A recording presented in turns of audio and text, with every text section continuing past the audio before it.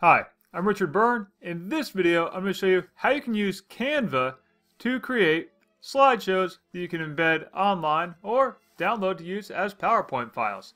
So let's take a look at how you can do this. One of the things I love about Canva is there are so many great templates for all kinds of projects, including presentations. And they're great for folks like me who maybe don't have the best sense of style or design when it comes to graphics. So I like to use Canva for this sort of thing. And in Canva, we're going to load here a whole bunch of different templates to pick from. So let's take a look at these templates. So we can see here on the left hand side we have simple presentations, education presentations, all kinds of different things. Let's say I want to use this education presentation. And you'll see as I hover over it, there's 25 different templates within that presentation style. So let's select that one. And now I can pick one of the slides inside here. Maybe we'll just use this one. Now, I've loaded that up, and obviously I'm going to want to change it because I do not work at Lake Dorian Summer Village School, and I'm not going to do the basics of being outdoors. So let's just click on it and we can ungroup things so we can edit these individually if we want to. Or I can go ahead and just click on it and delete an element and change it out and call it, you know, my sample presentation. Of course, all the font styling tools you could ever need are available to you as well. Color, size, style, spacing, capitalization, all those are available to us. Just like you'd have in any other presentation tool. Now, I'm going to pick a different one of these options over here. Maybe I want to use this one. So I'm going to add a new page. And we'll use this template that I've selected. And you'll see there's a video option in there. Now, that's a just a placeholder video, and of course you could use it if you wanted to, if you had, but I'm not going to. I'm going to instead put in my own video, and I'm just going to delete these other elements. I don't want those elements there. You'll see on the left-hand side, I have a videos option. Now, if you don't see the videos option, click on the more button, and you'll be able to open up some more options for yourself. So I'm going to use YouTube here.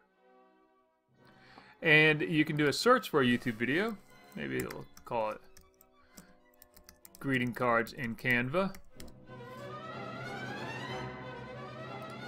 And there's the video from YouTube that I want to use. And we'll see, it's now centered on the screen. Click and drag and move it around to the place I want to be in. So now I have a couple of slides. Now, if I want to add more to these, I just keep hitting new page and keep adding more templates. If I want to use my own media, I can hit the upload button. I can upload an image or video, and then I can put it on the page. Maybe I'll do a quick demo of that right here. I'll put in this silhouette of an elk put that on my page. So now I have all my slides here. When I'm ready to share these, of course, I can present this right from Canva itself by just hitting the present button up here. But I want to put it online. So I'm going to hit this share button. And I can send it out to other people to view it and edit but from here, I can present it. You'll see I also have an option for a website, an embed code.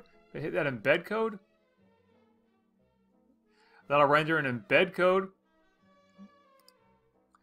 that I can then copy and paste and put into my blog post or my website. Maybe I want to put it here. Let's copy this one. So there's my embed code. Maybe I'm to put it into, uh, let's put it into Blogger real quick. So we'll put it into Blogger and we'll embed it right into a blog post. It'll automatically resize for me to the size that I need it in. In my Blogger blog post editor. I switched over to HTML mode from the compose mode. And I'm just going to paste in that embed code that Canva provided. And we can publish it. Or in this case, I'm going to update this blog post.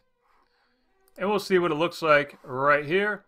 There's my sample presentation embedded with Canva. The video will play directly inside that slideshow. And I'm good to go. Now, the last thing we're going to do with this is look at my sample presentation that I have created here. And we've just used the embed code option.